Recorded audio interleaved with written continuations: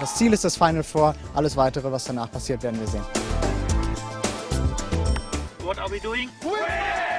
Wieder so wie letztes Jahr, genau die gleiche Vorfreude.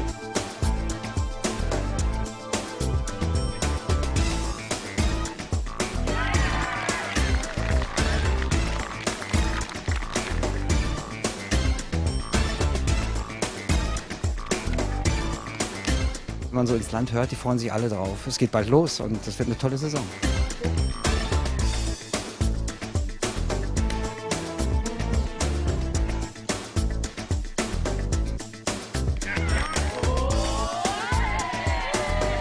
Ich freue mich, als Mannschaft halt zusammen dort anzutreten und alle zusammen vielleicht dann den Titel am Ende zu holen.